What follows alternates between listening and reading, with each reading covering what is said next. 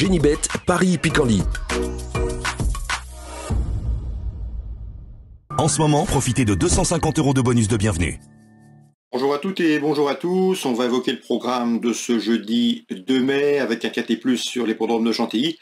Un Quintet Plus dont le départ sera donné à 20h15, notez-le bien.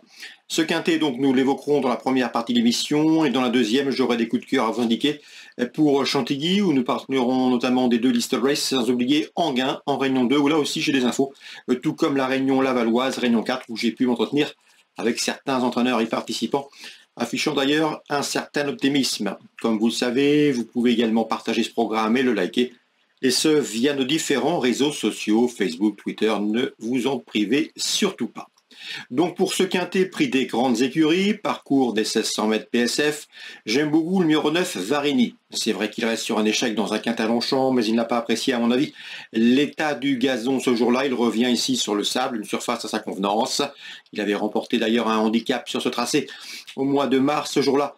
Il avait longtemps patienté à l'arrière-garde, se montrant un brin tendu avant de tourner en quatrième épaisseur dans le dernier tournant et de s'en aller quérir une victoire des plus convaincantes. À mon avis, il peut s'adjuger ce quintet numéro 9, Varini, un cheval qui affiche 5 podiums, dont 2 succès en 7 courses courues. Je lui poserai le numéro 2, série, jugé digne de courir une liste Race dernièrement. C'est une euh, jument qui a également déjà gagné sur la PSF de Chantilly au mois de décembre. Attention dès lors à son retour dans les handicaps.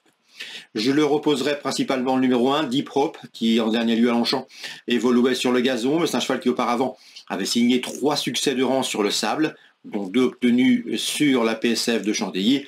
Je pense qu'il faut le reprendre, ce numéro 1, Deep Hope. Je retiendrai ensuite numéro 16 dans cette euh, épreuve qui reste sur une deuxième place intéressante dans une course référence, à savoir le prix de la journée des plantes disputée c'était fin mars euh, sur l'hippodrome de Chantilly et sur ce parcours. Euh, donc à mon avis, ce numéro 16 doit pouvoir bien faire, tout comme le numéro 13, Améra, troisième de ce même handicap référence disputé donc à Chantilly. Améra, c'est déjà des références certaines et sérieuses à Chantilly. Cinq courses sur la PSF de Chantilly pour deux victoires et deux places de troisième. Numéro 15 également, Joli Prince a également participé à ce même prix de la journée des plantes, s'y classant quatrième. Un cheval qui aime galoper dans le groupe de tête, un cheval qui a déjà remporté un quintet plus, c'était l'an dernier, sur cette même PSF de Chantilly.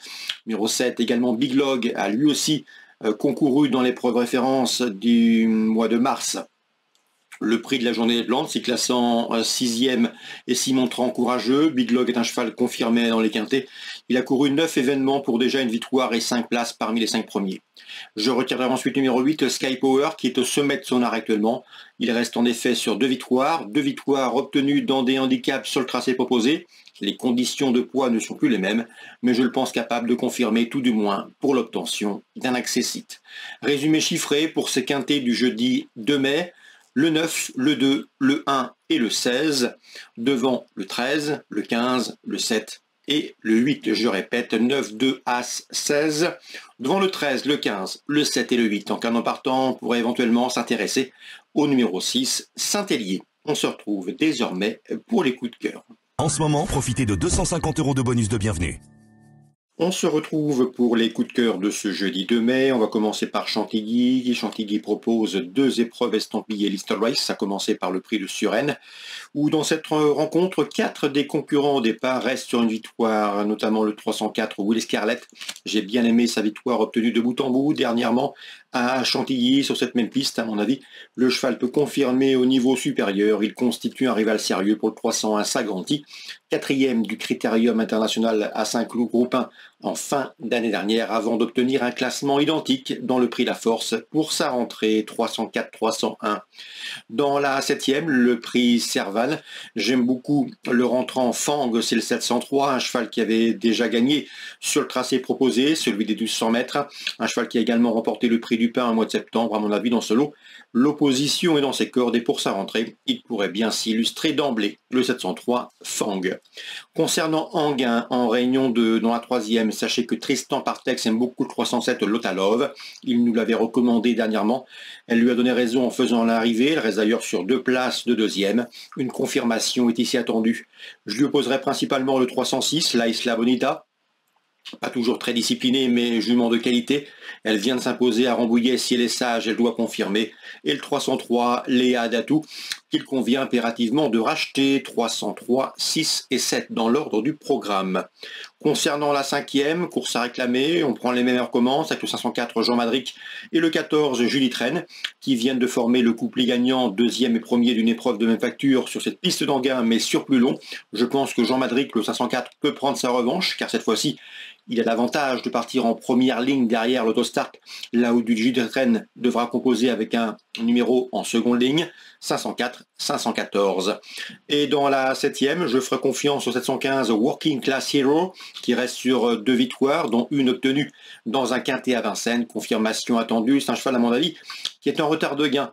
Le 713 Yahoo Diamond, c'est un concurrent à prendre en considération. Lui aussi nous arrive de l'étranger avec des ambitions, un cheval qui dépend de l'entraînement redoutable de la famille Nimzik. 715, 713, toujours en gain, Réunion 2. On passe maintenant à Laval, Réunion 4, quelques coups de cœur à vous indiquer.